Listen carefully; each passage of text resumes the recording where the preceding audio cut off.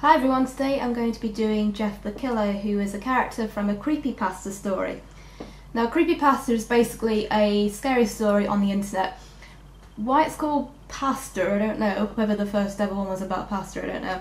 But the reason why creepypastas are so, well, in my opinion, why they're so, I wouldn't say popular, um, why they're so culty, is because um, because they're on the internet.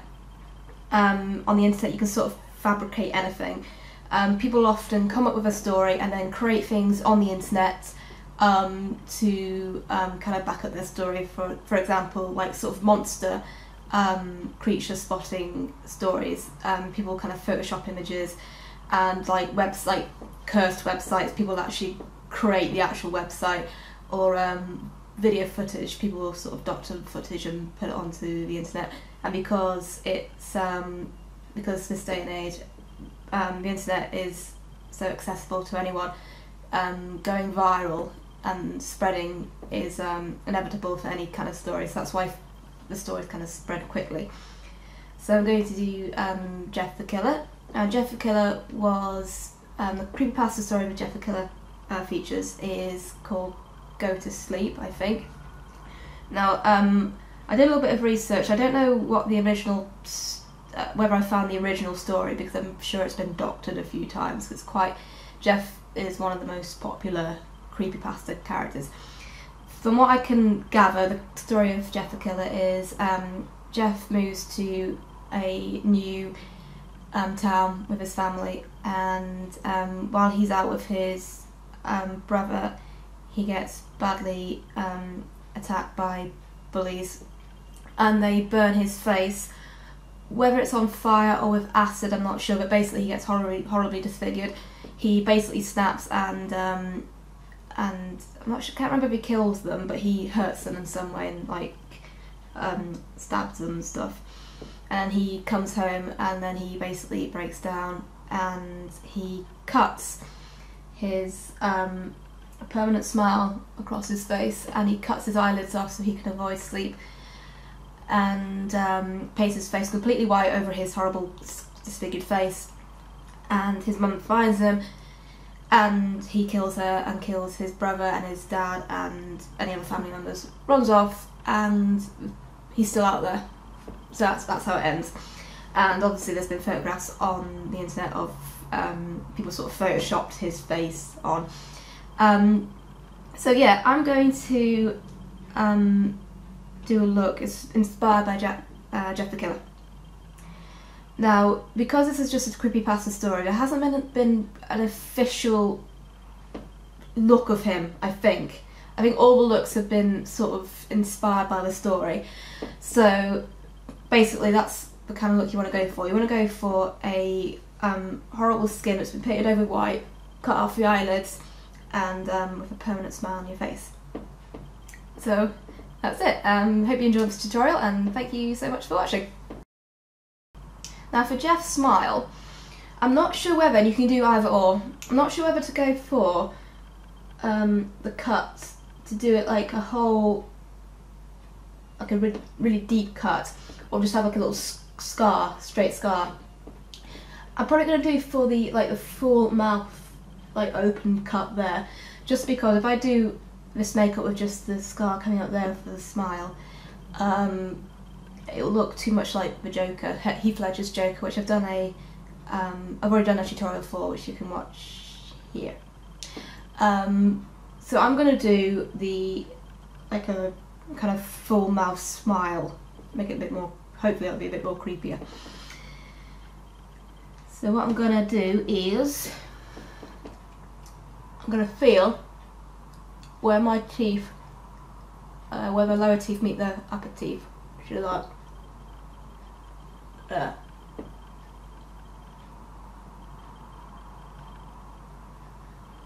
and I'm gonna draw it in. I'm gonna go along where the teeth naturally are, which I think is about there.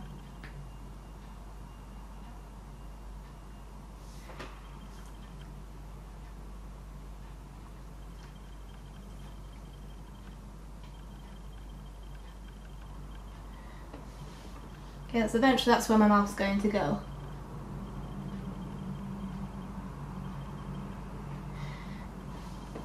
I'm going to take some Pritt stick and just flatten out my brows because I'm going to um, try and cover them up as, be as best as I can. I'm guessing the her brows would have been singed off. Now because Jeff's face is completely painted over in white, um, obviously you don't need to burn your skin off and then paint over it, but we can create the effect that the skin is, is um, burnt underneath. And the way I'm going to do that is going to take some liquid latex and some toilet paper. And what we're going to do is basically we're going to layer up with um, in different sections of the face. So where it'll just show where bits of the skin have sort of peeled away and stayed intact and stuff. So I'm going to put some liquid latex on in. I'm going to put the latex on all over my face and then pop the tissue paper in random areas. And I would suggest um, ripping it and making it really, really like messy as you can. So pop it on there, and then once you get a little bit of, you get that mostly on there, just wax some more latex on. The latex and toilet paper um, effect is basically the same as uh, papier-mâché. It's um, well, you know, you know what papier-mâché looks like and it is um, completely safe. You don't have to worry, unless you're allergic to latex. So obviously don't don't do this. Um, if you're allergic to latex, you could. Um, I don't actually know what you could do instead. You could. Um, there might be there may be some latex-free um, glues in available. I would have thought there would be. I mean, like, because latex is quite a um, you know, co common thing to be allergic to. So I'm guessing they would have invented something that's, you know, latex free. I suppose you can use eyelash glue. Um, I don't know if it'd be strong enough.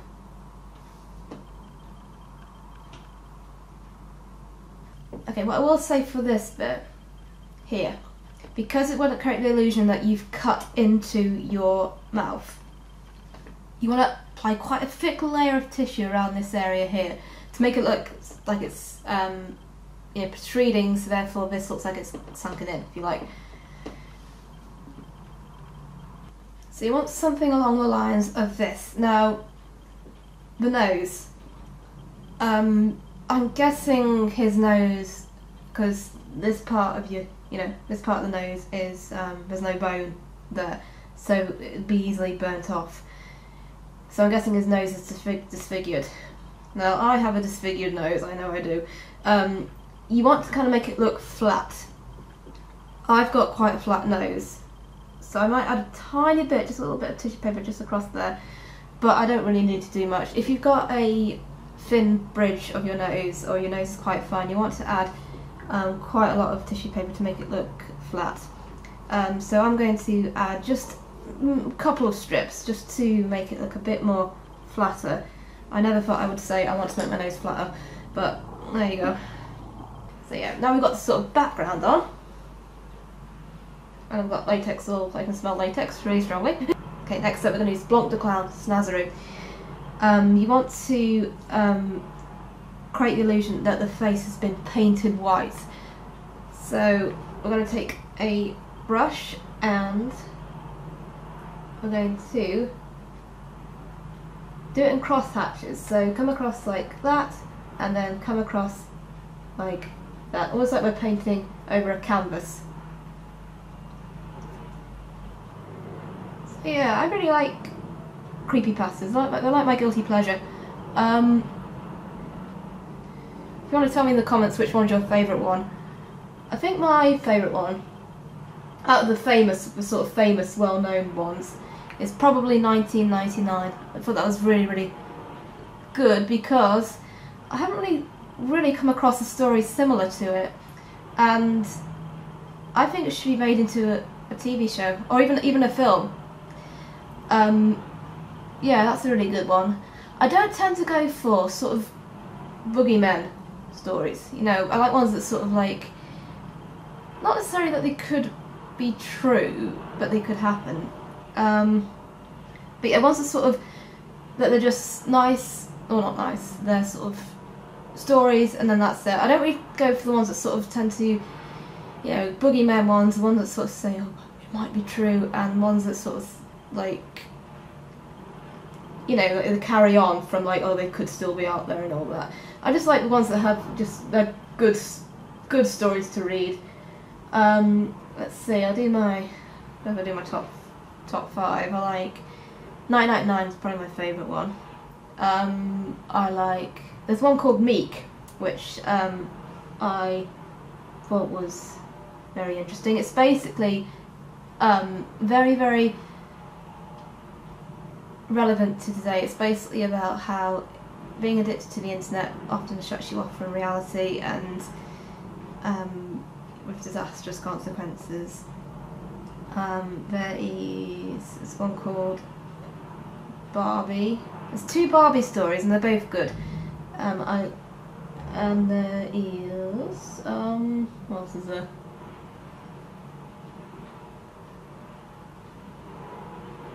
I like where the bad kids go. It's kind of similar to 1999, I think.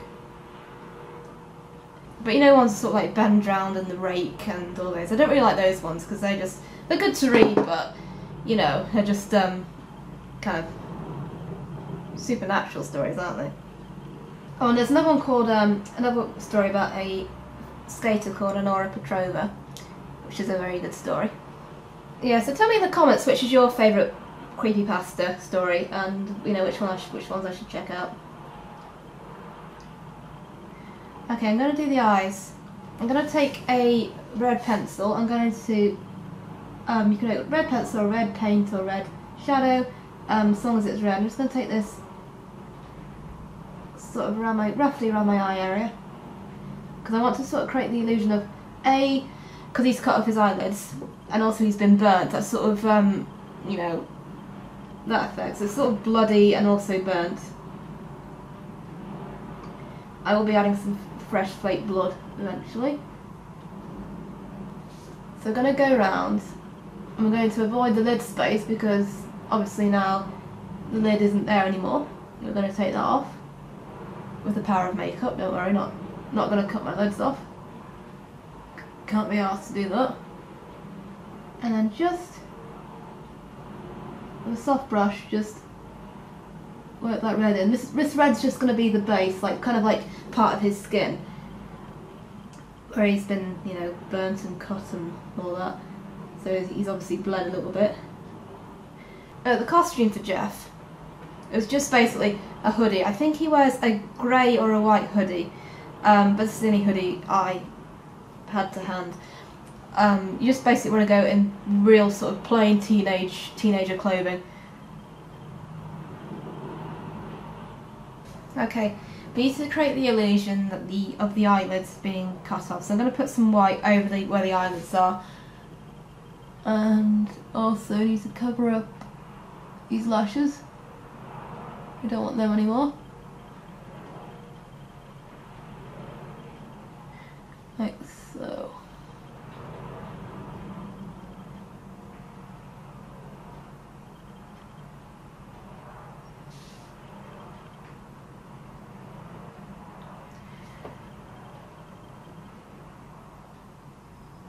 This would be great if you had hooded eyes.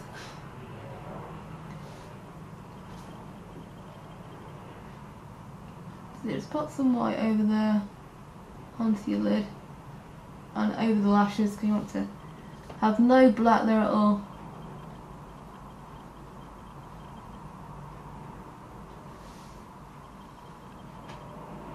Okay, now I've got some black eyeshadow, Sugarpill, and with a fine um, tapered brush, this will do. Going to get right at the um, lid.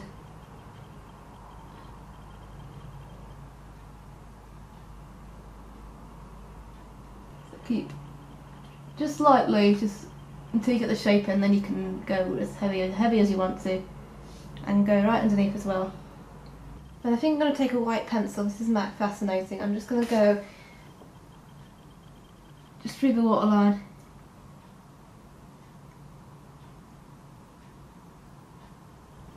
And I just take my red pencil and just for now around my mouth I'm going to create the illusion of sort of like dried blood. Okay, just going to enhance the, the black on my eyes. I'm going to take some Clinique True Black Liner.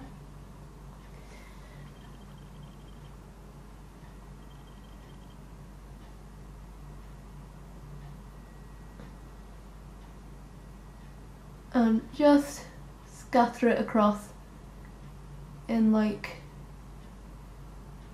really, really like sporadically. I've got some fake blood.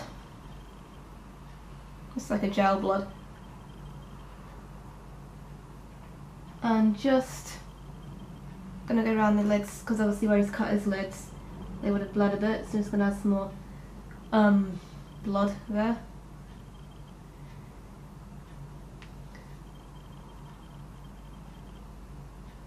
Okay, now I'm going to draw it in the mouth next. I might leave the lips clear just for the last uh, minute because as I talk it's going to like rub off. So yeah,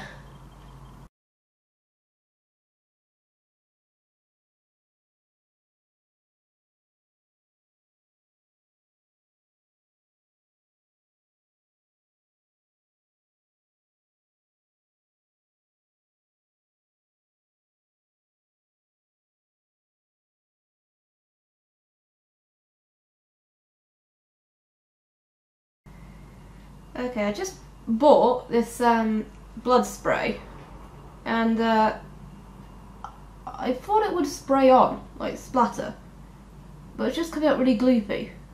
I don't know if I have to add any water to it or anything, but um, yeah, I'm going for just going to take a cotton bud and just add little specks. Okay, that's that. And then I'm just going to take my white again. And I'm just going to go over the top of most of that because to make like look like he's painted over like old blood. But you can still sort of see the blood underneath. And to finish off, just backcomb it. Um, you want to make it look um, really tatty and like it's been burnt off. Um, if you want to do like a put a ball cap on, sort of pull your hair through it to make it look like it's burnt off in patches, then you can do that. But um, I'm not going to do that. I'm just going to make it all tatty. So yeah, this has been my my take on the Jeff the Killer character from the story Go to Sleep from Creepypasta. Um, yeah, it's quite similar to a Joker, really. I think and so a bit messy with fake blood so we have to make sure you've got lots of, towels around you. So yeah thank you very much for watching. If you want me to do another creepypasta inspired look I'll I'll give it a go. Um, and yeah let me know what your favourite creepypasta story is in the comments. So thank you very much for watching and I will see you all soon. Bye